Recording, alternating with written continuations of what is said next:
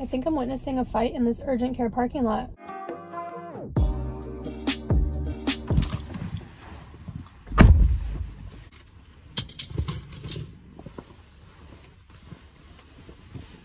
Okay.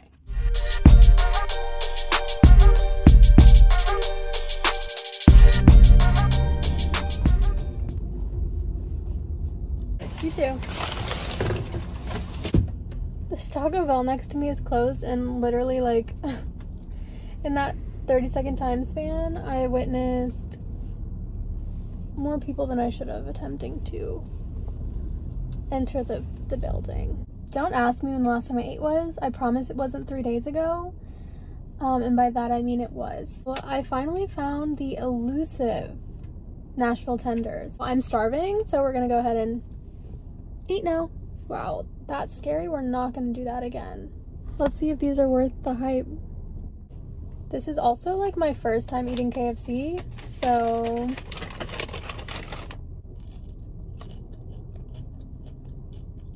Oh my god. Okay, fries are like a 9 out of 10.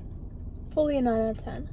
So I just got the three piece Nashville tender combo and um, Dr. Pepper. I haven't had Dr. Pepper in actual years, so this is about to be everything.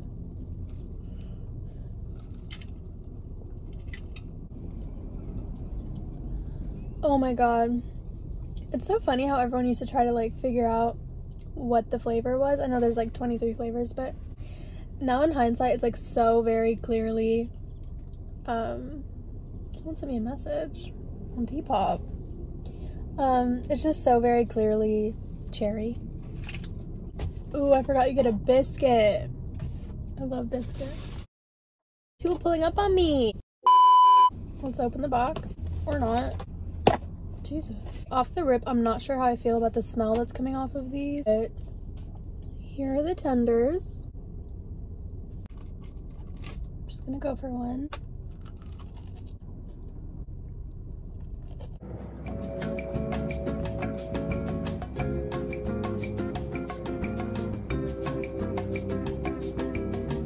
Turns into an ASMR of me just eating. So as a former member of the Picky Child Coalition, I'm a chicken tender connoisseur because that's all I would get at every restaurant, okay? These are the best tenders I've ever had, and that's that.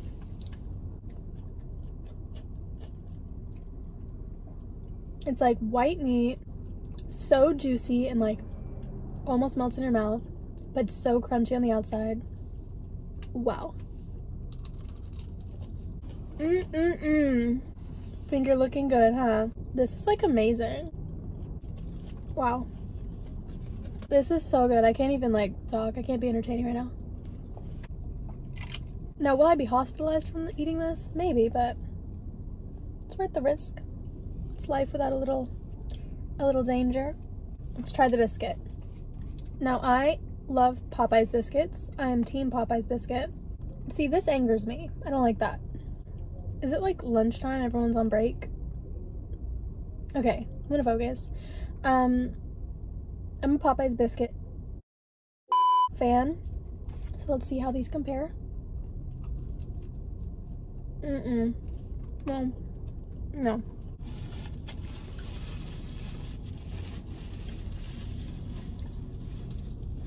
They're too dry for me. They have a weird consistency. So story time. I deleted TikTok for my mental health and sanity.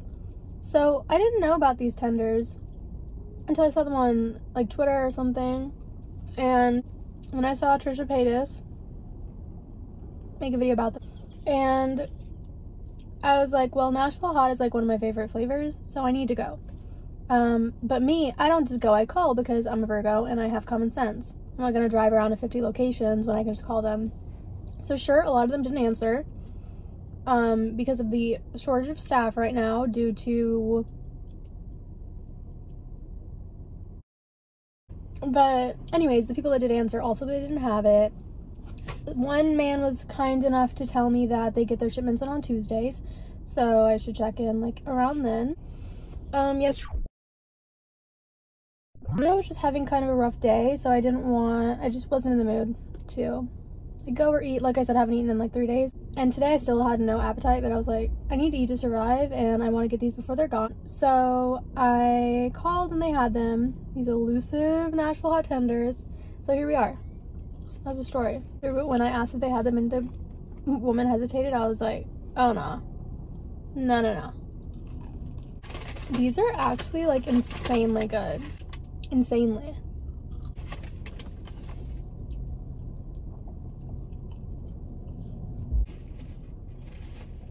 I think I'm witnessing a fight in this urgent care parking lot. What could be that deep? That's my question.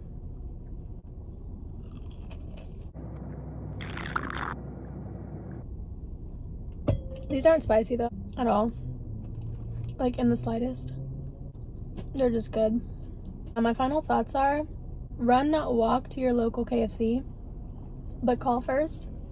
And if they have these, get them because they're amazing. And there's also like a nationwide chicken shortage, so the KFC like crisis, there could just be like no chicken left. Like tenders are like not on their menu to order online.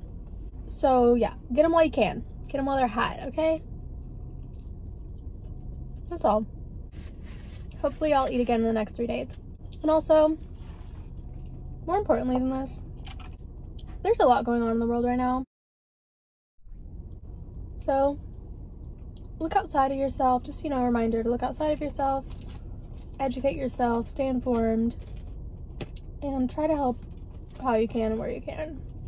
These are some tough times, so it's hard enough to like just take care of your own mental health and like make sure you're okay. But just a reminder to keep your friends, your family, your loved ones close and do what you can for people that might be being affected by things that don't affect you because you know it could very well be you, and even if it isn't you, you should still care. So in my description, I'm going to put some links to things that are currently going on in the world. Please check them out, and thank you for watching. Um, if you like this video, you can give it a thumbs up. You can comment if you had these, if you think they're worth the hype. I saw some people saying they're overrated, so if you think they're overrated, let me know. And yeah, see you next time. Bye!